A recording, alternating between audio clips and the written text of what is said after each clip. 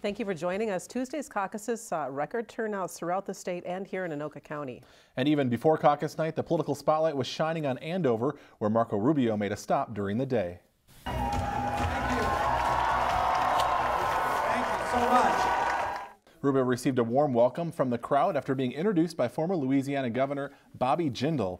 Rubio shared his views on everything from the economy and health care to ISIS and his rival Donald Trump. He specifically addressed veterans and young people, encouraging all voters that he's the best choice to end the country's debt, as many cheered and chanted his name. And many of the values that help shape this country and make it special are under assault.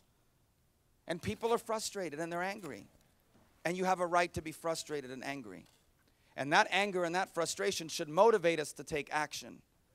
But that anger and frustration should not define who we are. He is um, the only one that I think can unite the Republican Party.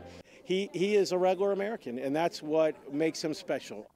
Hundreds of people turned out for Rubio's afternoon rally, but later in the evening, the focus was on all the presidential candidates at the precinct caucuses. CTN's Joe Nelson has more.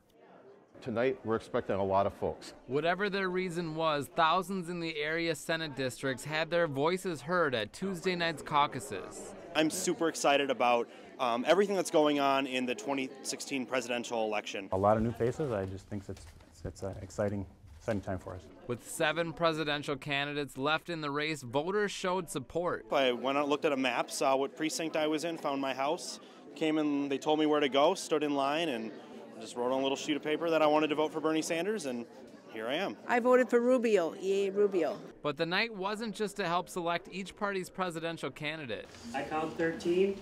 We actually conduct a lot of our party business through this caucus format. We elect precinct chairs, vice chairs, and secretaries. Tonight I was elected uh, vice chair of the convening convention.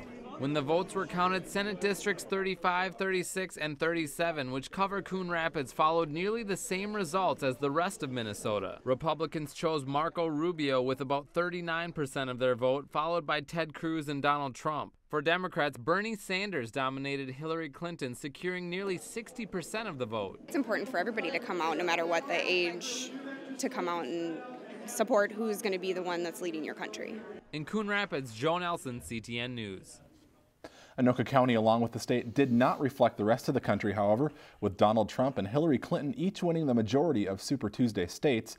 For a deeper explanation of caucuses, how students are getting involved, and Minnesota's role at the polls, stay tuned for CTN News Spotlight.